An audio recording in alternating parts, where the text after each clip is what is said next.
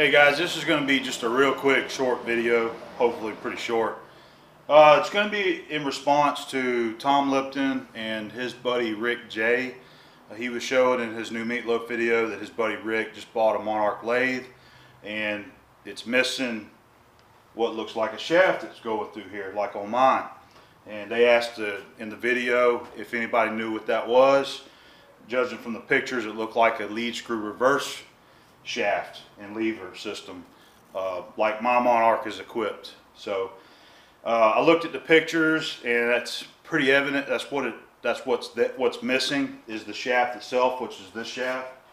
So I've never really gone into discussion on how this works here. So we're just going to do a real quick video so that Rick can see and Tom and whoever else is interested to know how the lead screw reverse lever works.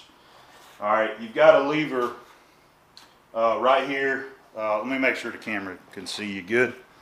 Okay, so like I said, this is the shaft here that is missing on Rick's lathe. And it goes all the way through the apron here into each side. You've got a, a housing down here holding it. You got a lever on mine. There's a lever here, and I believe they're all equipped with one. All right, so if you pull that lever, that rod moves and it turns and it changes the direction of feed, whether it be for your lead screw or your feed rod. That's what changes the, the direction there.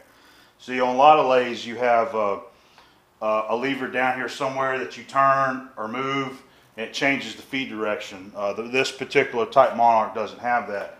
It's this here. So that's one direction of feed. That's the other direction of feed. So we'll go ahead and um, I'll fire it up so that you can see uh, how how it works, and we might get some closer up shots. There's there's some other features on here, these clamps that you can utilize also, which I, I have never used, but you could use it for certain ops.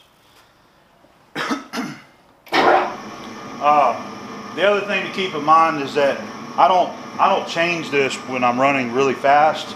I try to keep the RPMs to a, lower level when I change it because you can hear those gears uh, engage down on this end. So we're running uh, 200 RPM. Uh, that's right about the, the high end. I like to change this. So we'll go ahead and turn it on and you can see I got the feed the feed rod is moving here. Okay, it's engaged there. That's on the down position. Okay, so with that, you're feeding from the right to the left. So if I want to feed it from the left to the right, I pull that lever up and it changes the feed direction down this end. And you have a neutral there also you can go to. But you can see how the rod moves. It's, it's not real tight either. You can, you can actually grab this with your hand. You can do it with your hand if you wanted to. Okay? That also works with the cross slide as well. There it is feeding out. If I want to feed in, same way because that's just changing your feed rod down there, okay? So, disengage that.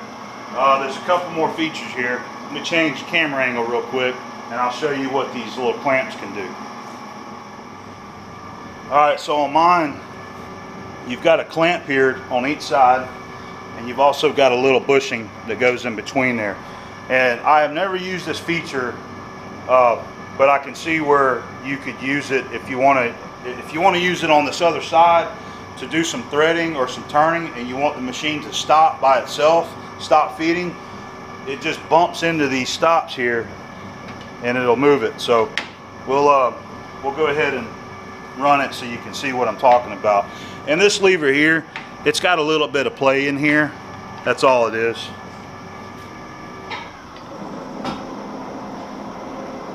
All right, so we'll go ahead and back, I'll back it on up close. So if I was feeding this way and I wanted to stop, let me get it closer. All right, we're right up here by it. We'll go ahead and let it feed in and watch it, it'll, it'll kick it down.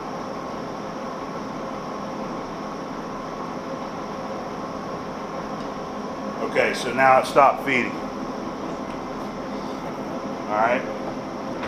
So like I said, you can do that on the other side also. And where I think that's useful is, is uh, for threading as well. If you're threading into a, a, um, a blind hole or something like that.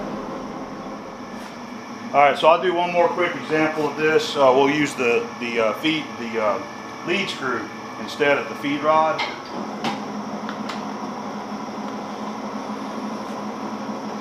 Oh, I'm in I'm in neutral. I was looking for it to turn, so all right. Maybe you can see it's behind this rod, so it's hard to see, but your lead screw's turning. Okay, so we're gonna go ahead and gauge it. I'm just watching my thread dial here. Okay, you're uh, you're threading. You're going down. You're threading. You pull it up to neutral to stop it. You don't have to disengage your half nuts. Pull it all the way up to reverse. You can let it. You can let it come on out.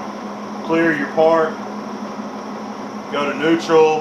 Readjust your cross slide. Drop it back in, and keep going.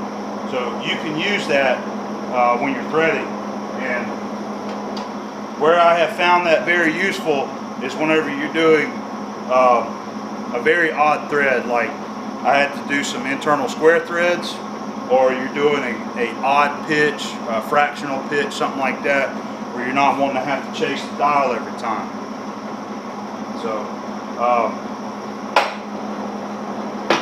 disengage it there. So, anyway, I hope that that was helpful uh, for both Rick and Tom and anybody else that's uh, curious about the feed rod system here.